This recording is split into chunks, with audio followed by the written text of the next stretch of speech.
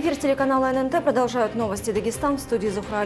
Здравствуйте. В начале коротко о. Зимой лужи, летом смрад.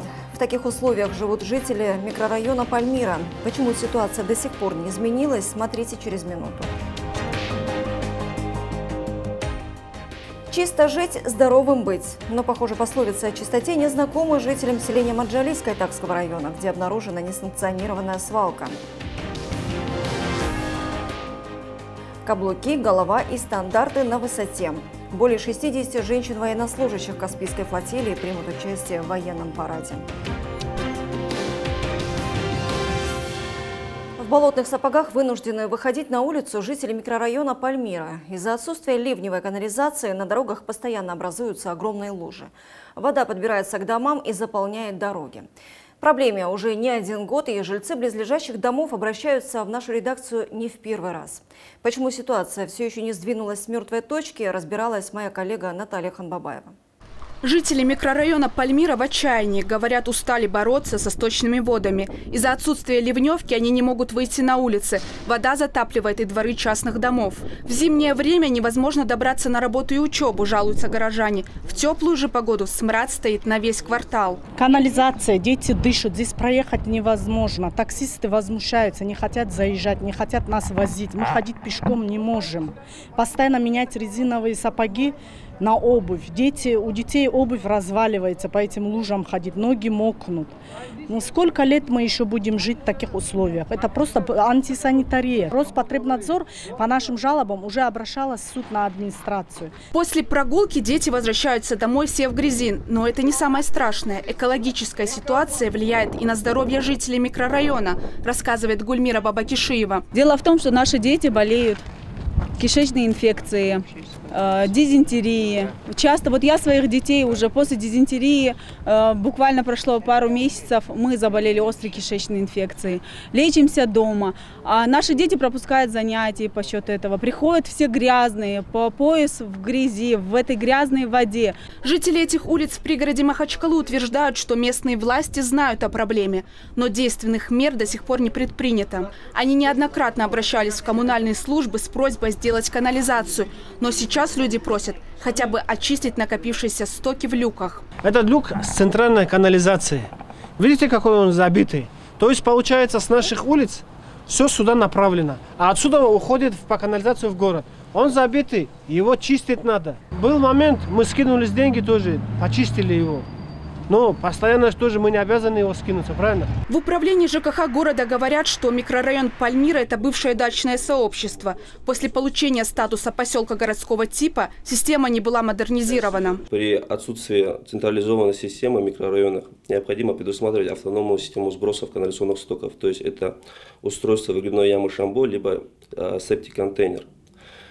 Э, Данные, получается, требования не были выполнены местными жителями, то есть самовольно, было, самовольно были проложены канализационные линии, а, все это выводилось на рельеф местности, и при выпадении атмосферных осадков все это выбивало наружу, и соответственно, появлялись антисанитарийные условия. Однако проблему решить можно. В рамках республиканской инвестиционной программы в этом году планируется разработка проекта реконструкции ливневой системы. Строительство же начнется только в следующем году. А пока резиновые сапоги и неприятный запах остаются спутниками жителей микрорайона. Наталья Ханбабаева, Нурмагомед Магомедов, Магомед Магомедов, Мурат Бигбарзов, телеканал ННТ, Махачкала. Задержан глава Цунтинского района. Оперативные мероприятия в отношении Шамиля Магомедова начались еще в воскресенье. Сотрудники Республиканского управления ФСБ России ведут допрос по делу о взяточничестве. По предварительным данным, чиновника могут обвинить в серьезных хищениях. В настоящее время решается вопрос о возбуждении уголовного дела. Большая несанкционированная свалка выявлена близ села Маджалийска Такского района. Управление Россельхознадзора по Дагестану обнаружило токсичный строительный и бытовой мусор на землях сельхозназначения. По мнению ведомства, причиной появления свалки стало отсутствие муниципального контроля. В отношении администрации села составлен протокол. Дагестанцы за три последних месяца заплатили около 2 миллиардов рублей за потребление электроэнергии. Это больше, чем в прошлом году на 24%, то есть сумма превысила почти на 380 миллионов рублей. Но несмотря на это, проблема низкой платежеспособности в республике остается актуальной. Об этом сообщили в филиале Россети Северный Кавказ Дагэнерго. На борьбу с саранчой в Дагестане потратят больше 20 миллионов рублей. Вредителей будут уничтожать химическими препаратами. Зараженная площадь составила около 75 тысяч гектаров. Это в Ногайском, Кизлярском, Тарумовском и других районах республики. По информации Минсельхоза Дагестана, ведомство уже приобрело почти 3 тысячи литров. Химической жидкости еще 6 тысяч закупят дополнительно. Более 60 женщин-военнослужащих Каспийской флотилии примут участие в военном параде. Торжество пройдет э, на главной площади города Каспийска во знаменование 76-й годовщины победы в Великой Отечественной войне. В состав сводного парадного расчета войдут офицеры, сержанты и рядовые прекрасного пола. Также среди военнослужащих женщин будут связисты, медики, психологи, представители поисково-спасательной и парашютно-десантной служб. Всего в Параде Победы в Каспийске примут участие порядка полутора тысяч военнослужащих. По улицам города пройдут более 30 различных видов вооружения и военной техники. Парадные расчеты проводят ежедневные тренировки с исполнением песен, отработкой строевых приемов и синхронности действий. Свыше 50 тысяч дагестанцев прошли вакцинацию от коронавирусной инфекции. На сегодняшний день самую большую активность проявляют жители Докуспаринского и Хунзакского районов, а также Бештинского участка. Низкие показатели вакцинации в Хасавюрте, Буйнакске и Акушинском районе. Накануне в Буйнакске для детей-медиков провели театрализованное представление. Мероприятие организовал профсоюз работников здравоохранения Дагестана. На сцене актеры Дагестанского театра кукол показали постановку «Красная шапочка». Посмотреть живую сказку пришли более тысячи детей с родителями красочное представление не оставило равнодушными никого. Яркие эмоции, счастье, радость, веселье, увлеченность – это все демонстрировали наши дети, которые от самых маленьких до детей, которые постарше, абсолютно были вовлечены в этот процесс, происходящий на сцене. Надо отдать должное театральной группе, которая с таким энтузиазмом и артистичностью рассказывала сказку. В рамках акции «Профсоюз детям» было организовано три показа. Медицинские работники выбирали удобное для себя время, и мероприятие прошло с соблюдением всех санитарно-эпидемиологических норм. Нам очень все понравилось, особенно деткам. Они в восторге от всего. Спасибо вам большое. Республиканский этап конкурса педагогов дошкольного образования стартовал в Махачкале. Торжественное открытие мероприятия «Воспитатель года Дагестана-2021» прошло в детском саду номер 20. Конкурс стал традиционным. Он проходит с 2004 года и уже в 17 раз. Участие в этом году принимают победители муниципальных этапов из более чем 40 садов республики. Всего будет 6 призеров. Одно первое место, два вторых и три третьих. Победители определят в эту субботу. По словам организаторов, все педагоги уже стали лучшими для своих воспитанников.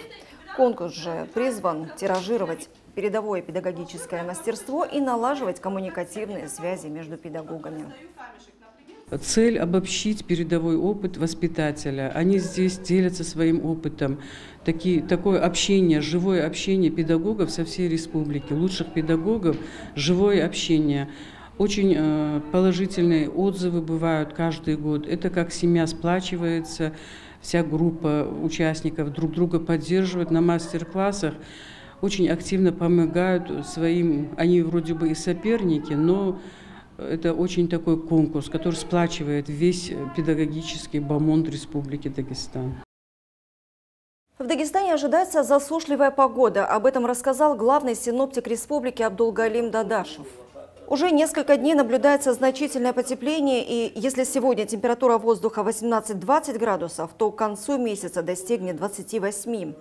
Вторая половина весны сохранит наблюдаемую на сегодняшний день тенденцию к потеплению. Самым жарким периодом в столице Дагестана ожидается конец июля, начало августа, когда температура воздуха будет достигать 39 градусов. Лето нынешнего года ожидается сухим, ну, как и весна. А в целом лето в Махачкале, можно сказать, соответствует климатической норме, ну, чуть прохладнее, чем в 2020 году по температурному режиму. Особенно Это касается май, июнь, без аномалий, без резких перепадов температур. Но единственный недостаток осадков почти не идет. И о спорте. Чемпион мира по боксу Муслим Гаджимагомедов выступит на международном турнире Кубок губернатора Санкт-Петербурга. Соревнования в северной столице страны стартовали сегодня и продлятся по 24 апреля. Для дагестанского спортсмена турнир станет своего рода проверкой сил перед Олимпийскими играми. Сообщается, что соперниками лидеров российского бокса станут ведущие атлеты из более чем 15 государств. Предварительные поединки в категории до 91 килограмма, где выступает Муслим Гаджимагомедов, начнутся уже завтра. Смотрите наши выпуски также на сайте nntv.ru. А у меня на этом все. Всего доброго и до встречи.